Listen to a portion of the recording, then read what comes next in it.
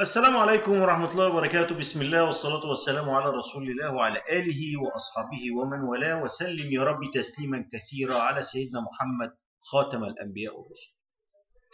فاسألوا أهل الذكر إن كنتم لا تعلمون. في قصة صغيرة كده حصلت لمريضة عندي جات لي الصيدلية. لقيت وشها بايظ. حبوب وبني وشها بايظ. وطبعا كان متابعة دكاترة مش متخصصين وناس على اليوتيوب وناس على على النت فوشها كان متدمر تماما. طبعا أنا بستشهد بالآية القرآنية فاسألوا أهل الذكر إن كنتم لا تعلمون. أنا ليا حدود وليا تخصص ما تعدهوش. فقلت لها تعالي ونصحتها بالذهاب للأستاذ الدكتور سام أبو زيد. أستاذ الجلدية طبيب جلدية عشان يلحق يسعفها. لا قلت لها خدي الكريم ده ولا قلت لها اعملي كمادات حلبة ولا قلت لها اعملي كمادات حلبة حصى ولا قلت لها خدي أنبول إزاز حطيه على وشك ولا قلت لها أي حاجة. أنا كفيت عمل كده. أنا كفيت عمل إذهبي لأهل التخصص. فذهبت للطبيب وما شاء الله. طبيب من خلال علمه والمؤتمرات العالمية اللي بيذهبها ومن خلال تجاربه مع المرضى راجل أستاذ دكتور ابتديت أراقب العلاج. كتب لها علاج بسيط أكريتين.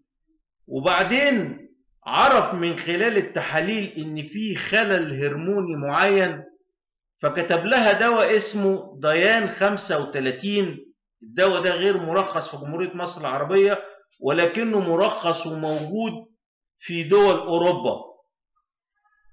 البنت عن طريق قريب لها بره جابت العلاج مشيت عليه. ما شاء الله بشرتها اتحولت وبقى وشها جميل. وجت الصيدلية دعت لي مجموعة أدعية ما شاء الله. ففعلا فعلا اذهب للمختص ادي العجين للخباز ولو كان نصه. فيا جماعة الفيديو ده مخصوص علشان كل واحد يتقيد بتخصصه. بلاش الافتاءات وبلاش الافتكاسات. كل واحد يعرف حدوده إيه. ده طبيب الباطنة ما بيقدرش يتكلم في حالة عظام. دكتور العظام ما يقدرش يتكلم في حالة مخ وأعصاب. دكتور ال ال ال الأنف والأذن ما يقدرش يتكلم في حالة نسا. كل كل طبيب ليه تخصص اللي مجال علمه فيه مع إن كليات الطب كل الأطباء دارسين ست سنين طب وسنة امتياز.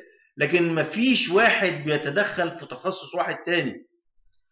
واحد من من أنصار الحلبة من أنصار الحلبة اطحني حلبة وحطيها يقول لي أنت بتروج للأطباء. أروج لأطباء مين؟ دي أسماء علم في مجال الطب وعلماء. ولو حبيت تروح له أو تقابله ممكن مثلا شهرين أو ثلاثة لغاية ما تلاقي دور. فربنا يوعدنا ويزيدنا من العلم.